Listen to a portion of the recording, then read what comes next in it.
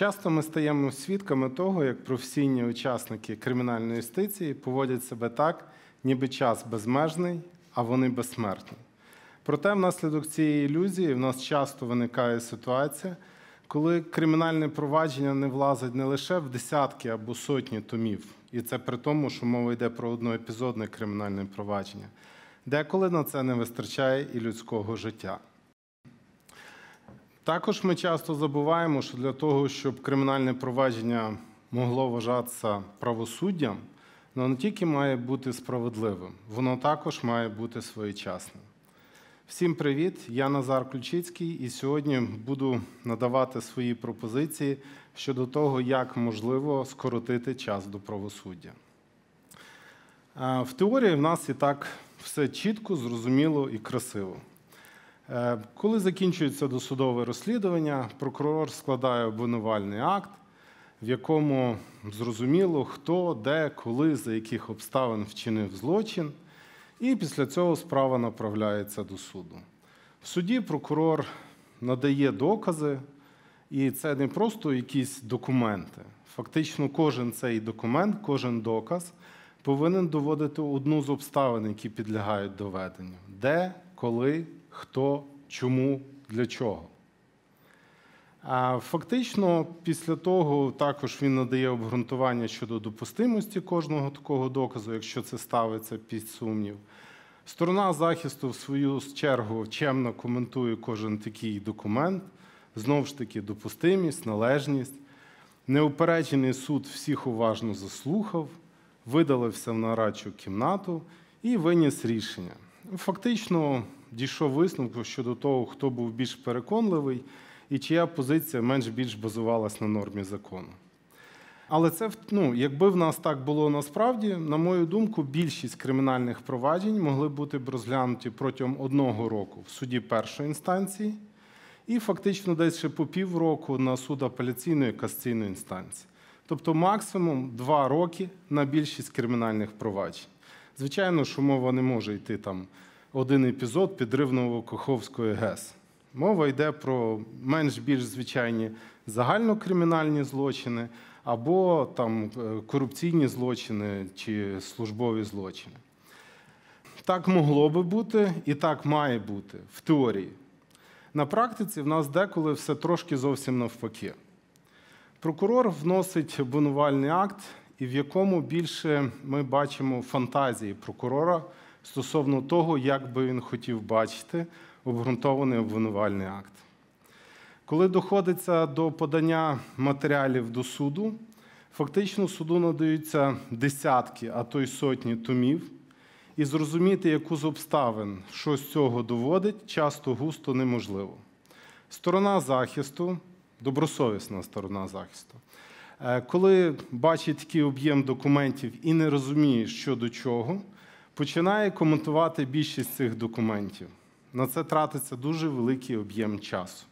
Об'єктивно, іншого варіанту немає, тому що суд у нас також може вийти за межі обґрунтування прокурору, і лишається ймовірність того, що будь-який непрокоментований папірець може потім бути покладений в основу вироку суду. Це за умови, що сторона захисту діє добросовісно і вона впевнена в своїй правовій позиції. Якщо ж ситуація не настільки певна для сторони захисту, а тим більше, якщо в нас на горизонті вже маячить закінчення строків е, притягнення до кримінальної відповідальності, сторона захисту з задоволенням починає коментувати будь-який папірець, який був долучений до матеріалів справи. Вони його цитують, е, вони на нього посилаються, вони його коментують. Спочатку йде очевидна недопустимість, допустимість, неналежність. Все це коментується і ще зверху навалюється велика кількість документів для того, щоб спростувати будь-який пустопорожній папірець. Прокурори в даному випадку також часто не пасуть задніх.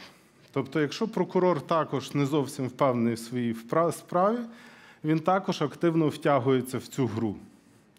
В результаті чого у нас трапляються ситуації, що е, обидві сторони активно тягнуть час. Прокурор сподівається, що його перекинуть на іншу справу, і це вже треба буде позор цей доводити до кінця комусь іншому. Сторона захисту сподівається на закінчення строків притягнення до відповідальності. Справу можна буде закрити по статті 49 е, Кримінального кодексу. Суд робить вигляд, що він всіх уважно слухає, але прекрасно розуміє, куди ця вся історія рухається. І внаслідок того е, це не тільки фактично підриває е, довіру до е, системи кримінальної юстиції, це фактично ставить під сумнів, чи хоче і може кримінальна юстиція загалом ефективно працювати. А час до настання справедливості або відтягує, або взагалі робить неможливим настання справедливості як такої. Очевидно, щось потрібно змінювати. Я зараз, коли буду пропонувати свої коментарі, я зараз наражаюсь на те, щоб е, стати на, на такий самий шлях приблизно, як став Аркадій Бущенко, якого е, дуже не люблять дуже багато адвокатів. Е, можливо, хтось не в курсі, але ситуація така що коли Аркадія Бущенка обрали суддею Верховного суду, багато адвокатів вважали, що він повинен піти хрестовою ходою на всіх прокурорів і відстоювати права всіх ображених. Ну, тобто адвокатів, ну і деколи підозрюваних з обвинуваченими. Але щось пішло не так. Аркадій Бущенко переметнувся на сторону ворога і повністю розтоптав прокищі плоди отруйного дерева. Ну, але Аркадій Бущенко, принаймні, суддя Верховного суду, а я досі лишаюся адвокатом. Через то в мене ризик суттєво більший в даному випадку. Тим не менше, назвався індиком залазь в борщ, дороги назад вже, в принципі, немає. Я хочу запропонувати деякі елементи, їх можна компонувати, з ними можна погоджуватися, не погоджуватися, але нам, як мінімум, потрібно розпочати обговорення. Що я вважаю, можна зробити для того, щоб не тільки скоротити тривалість, а й підвищити ефективність кримінального провадження? Перший пункт, що я вважаю, можна зробити, і це не буде щось зовсім нове. Е, фактично, ми можемо внести зміни в законодавство, які передбачають, що прокурор в обвинувальному акті повинен чітко посилатися на ті докази, якими він обґрунтує. Я зараз говорю тільки про письмові докази ті докази, якими він обґрунтовує кожну обставину, яку підлягають доведенню. Багато хто з вас може сказати, так це ж було вже. Так? Е, це забрали, тому що щоб не обмежувати змагальність судового процесу і так далі. і так далі. Але правами ще потрібно вміти користуватися. Досвід останніх 10 років показав, що в принципі ефективності це не додало. Можливо, варто спробувати повернутися до того, щоб прокурор надавав обґрунтування кожної обставини і підтверджував це конкретними доказами, які він планує подавати до суду. І до суду, щоб він подавав лише ті документи, які вказуються в обвинувальному акті. Звичайно, можливо, стадія доповнення судового розгляду, де там можна виправити все, що всплило, і що неможливо було передбачити зразу. Тому що, на жаль, що ми часто чуємо в кримінальному провадженні? Прокурор надає якісь документи, сторона захисту, а ще частіше суд, е, питає прокурора, а яку ж з обставин доводить той чи інший документ. Найбільш часта відповідь прокурора: даний конкретний документ може і нічого, але в сукупності з іншими доказами в кримінальному провадженні мають надзвичайно важливе значення для доведення обставин. Ми робимо вигляд, що 0 плюс 0 може дорівнювати щось інше, ніж 0. Друге, фактично, це те, що не сподобається точно більшості моїх колег. Я пропоную привнести елемент е, письмового провадження в кримінальний процес. Тобто абсолютно логічно, що якщо одна сторона письмово виклала свою правову позицію, з посиланням на конкретні докази, абсолютно логічно, щоб інша сторона процесу також надала свою правову позицію. Е, я не говорю зараз про стадію дебатів, але фактично, якщо ми говоримо про надання правової позиції, сторона захисту повинна надати свої аргументи щодо належності доказів, поданих прокурором, допустимості таких доказів, а також викласти свою позицію, які вона вважає за необхідне надати свої докази, і долучити їх до заперечень. Ми не уникаємо повністю стадії усних слухань. Це абсолютно недопустимо в кримінальному процесі. Але після того ми можемо вийти на позицію приблизно застосовувати підхід, який застосовується, наприклад, зараз Верховним судом, який не хоче слухати повторення касаційних скарг. Ваші касаційні скарги всі бачили, всі читали коротко. Поясніть, на чому базується ваша позиція і чому ми повинні її врахувати. Такий самий підхід, як на мене, можна застосувати і в суді першої інстанції. Тобто ви надали свою позицію, суд з нею ознайомився. Не потрібно і не можна в жодному випадку починати читати те, що ви подали до суду. Я думаю, більшість з вас е, знають. Хто не знає, там коротко нагадаю чи скажу. Є така справа е, колишнього голови податкової пана Насірова. Цій справі обвинувальний акт перший мав 900 чи більше аркушів. І прокурори рік чи більше читали обвинувальний акт. Так? Ну, Я мовчу про те, що мені тяжко зрозуміти, що крім переписування цивільного кодексу, податкового кодексу інструкцій там було. Я думаю, вся суть звелась до 35-40 аркушів.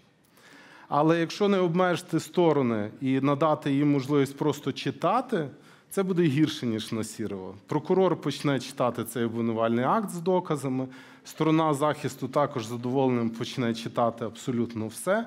Тобто, все має бути зведено до того, ваша позиція прочитана, суд знає вашу позицію. Будь ласка, вам надається час, щоб коротко пояснити основні доводи і відповісти на питання суду. Що тут, напевно, найбільш важлива частина. Допит свідків і так далі, це все лишається без змін. Або, можливо, нам варто подумати над ще одним альтернативним варіантом, який, в принципі, є не новим і ну, застосовується в багатьох країнах. Коли ми спочатку на стадії судового розгляду йде вирішення питання щодо допустимості і належності доказів, і тоді, коли об'єм доказової бази вже чітко визначений, ми переходимо до розгляду справи по суті. Це також дозволяє не тільки скоротити час на розгляд, це ще й підвищує загальну ефективність. Тому що якщо ми виходимо з того, що кожен учасник кримінального процесу є незалежний, включно з прокурором, якщо він бачить, що в нього відпала там велика частина доказів, на яких він базує свою позицію, можливо, ми уникнемо широкого кримінального процесу, і прокурор погодиться з тим, що треба переглянути свою позицію.